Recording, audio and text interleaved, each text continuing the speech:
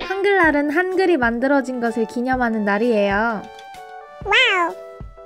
한글은 Korean alphabet. 한국 사람들이 쓰는 문자를 말해요. 하지만 한글을 처음부터 썼던 것은 아니었어요. 이웃나라 중국의 문자인 한자를 빌려왔었어요.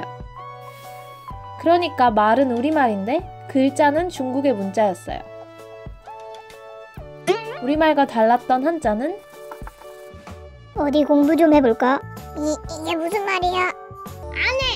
당연히 배우기도 어려워서 산은 산이고 물은 물이로다. 계급이 높고 공부할 시간이 많은 양반들만 배울 수 있었어요. 아이고 힘들어. 먹고 살기 바쁜 가난한 백성들은 배울 기회조차 없었죠. 조선의 네 번째 왕이었던 세종대왕은 무슨 글자인지 저는 하나도 못 읽습니다요. 오, 저런, 저런, 저런. 백성들이 말과 글이 달라 힘들어하는 것을 보고 누구나 쉽게 배우고 쓸 수 있는 글자를 만들기로 결심했어요. 목구멍에서 소리가 나니까 이응은 목구멍 모양이구만. 세종대왕은 발음기관을 본따서 자음을 만들었어요.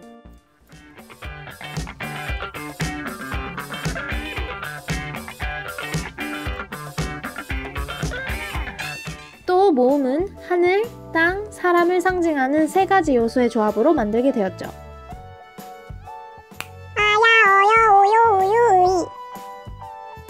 1443년 드디어 훈민정음이 완성되었고 3년 뒤인 1446년에 백성들에게 발표가 되었어요. 훈민정음이란 백성들을 가르치는 바른 소리라는 뜻이에요.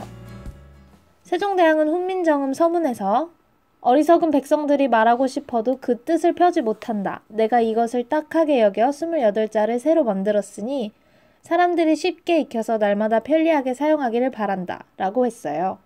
wow.